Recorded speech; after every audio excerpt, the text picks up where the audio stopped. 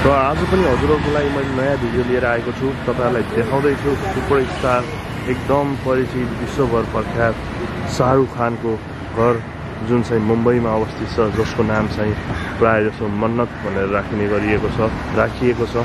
र विशेष गरी र यहाँबाट पुरै समुद्रको नजारा पनि देख्न सकिन्छ यसरी यतापट्टि हजुरहरूले देख्न सक्नुहुन्छ। र त्यसै गरी फुल सेक्युरिटीको साथ यहाँनिर देख्न सक्नुहुन्छ पुरै कम्पाउन्ड गरिएको छ पुरै कम्पाउन्डेड छ। र मन्नत भनेर भन्ने गर्छ यो ठाउँलाई।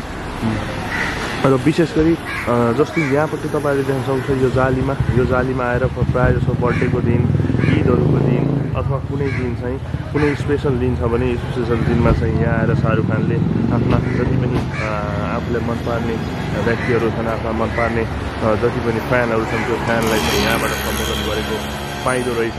र देख्न सक्नुहुन्छ पुरै मन्नत भनेर भन्ने गरिन्छ। एकदम आउने यहाँका पर्यटकहरू आउने यहाँ आएर फोटो खिचाउने त्यो पनि यहाँ देखिँदो रहेछ।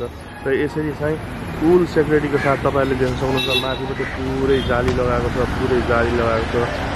कम्पाउन्ड एकदमै ठुलो छ कोही पनि भित्र पस्न नसकोस् भनेर।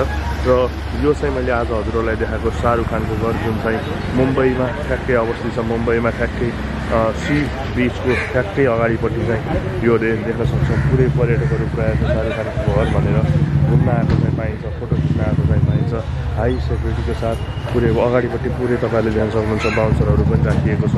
यसरी चाहिँ फुल कम्पाउन्डेड छ तपाईँहरूलाई देखाउन खोजिरहेको छु। मैले पुरै दृश्य देखाउनु भित्र जान चाहिँ एकदम मनाइ छ भित्र जान पाइँदैन। र पुरै बोर्डर बााउन्ड्री चाहिँ एकदम ठुलो बााउन्ड्री चाहिँ लगाएको छ। यसरी तपाईँहरूले देख्न सक्नुहुन्छ मन्नत भनेर भन्ने गर्छ यो घरलाई।